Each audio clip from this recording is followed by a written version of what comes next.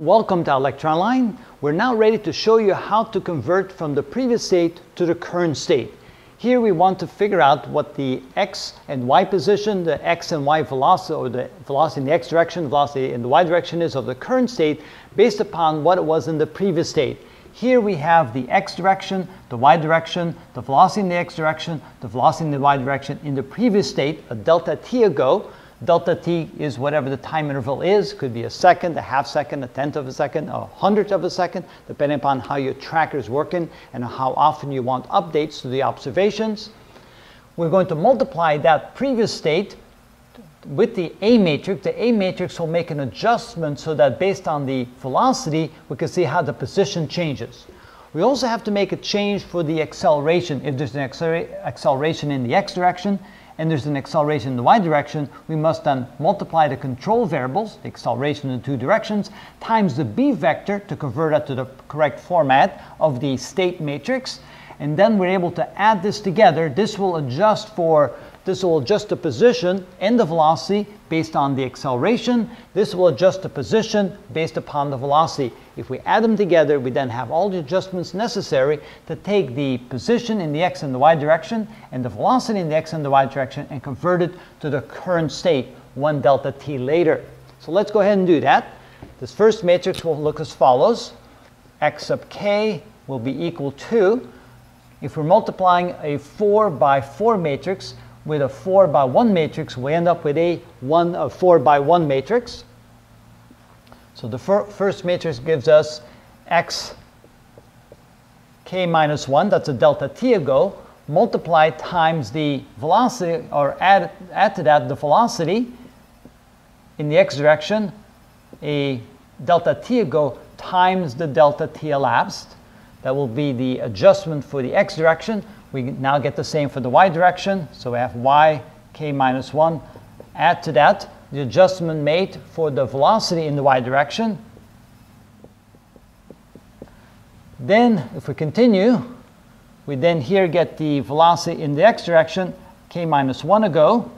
And then we have the velocity in the y direction, k minus 1 ago. And that should be a subscript, so let me lower that a little bit, k minus 1. There we go. That gives us the adjustment to the position from the previous state to the current state because of the velocity in the x direction, the adjustment to position in the y direction because of the velocity in the y direction, no adjustments for the velocity in the x and y direction because for that we need the control variables. We add to that the multiplication here. Again, we end up with a 4 by 1 matrix. 1 half delta t squared times a sub x, a sub x times 1 half delta t squared. Then here we get a sub y times 1 half delta t squared. Then we get a sub y times delta t. And we get, oh, let me take it back. That's an a sub x. a sub x times delta t and an a sub y times delta t. These are the adjustments. The first two elements here in this matrix are the adjustments to the x and the y position because of the acceleration, and these are adjustments to the velocity due to the acceleration. If we now add these two together, we get a single matrix that will now give us the x position, the y position, the velocity in the x direction, and the velocity in the y direction in the current state based upon the previous state and how the velocity and acceleration then are adjusted for. Add these elements together, we get the position in the x direction from the previous state. Add to that the, cor the correction due to the velocity.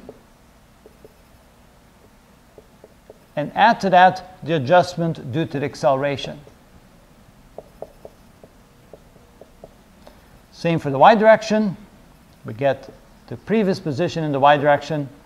Add to that the adjustment because of the velocity in the y direction and add to that the adjustment for the acceleration in the y direction. Here we have the previous velocity